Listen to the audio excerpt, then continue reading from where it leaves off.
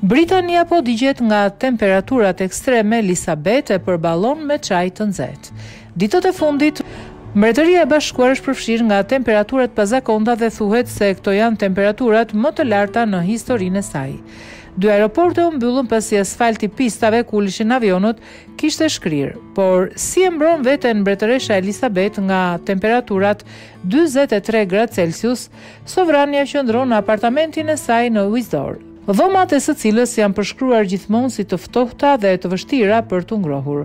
Por një nga bashkëpunëtorët e saj instaloi menjëherë një ventilator të vjetër që shkon nga dhoma e saj e gjumit në dhomën e preferuar të monarkes, Mbretëresha Elisabet. çaj të nxehtë edhe në verë, ndërsa priste të transferohej në Balmoral, që është edhe një vend më i freskët në Skoci për pushimet e saj verore, mjekët e këshilluan atë të pinte shumë ujë dhe të shmangte shëtitjet në kopshtet Uindsor. Megjithatë, Elisabet preferon çajin e nxehtë edhe në vapën e verës. dhe nuk heq dorë nga një ventilator i vjetër që shpesh ia çojnë nga dhoma në dhomë. Mbretëresha Elisabet nuk i beson motit anglez. Elisabet e di se temperaturat mund të bien papritur në mënyrë drastike edhe në Uindsor. Dhe asaj i pëlqen të jetë e përgatitur për çdo rast.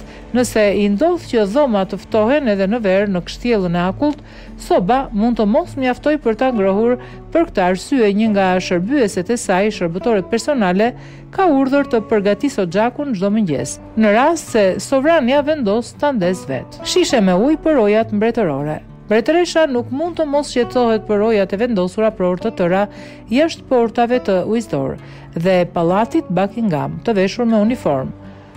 Me uniformën e tyre ikonike të kuqe dhe të veshur me një kapele shumë të ngrohtë prej lesh ariu dhe në një mënyrë krejtësisht të jashtëzakonshme, i lejon të pinë ujë herë pas here pa lëvizur nga pozicioni dhe duke vazhduar të mbajnë në njërin krah pushkën.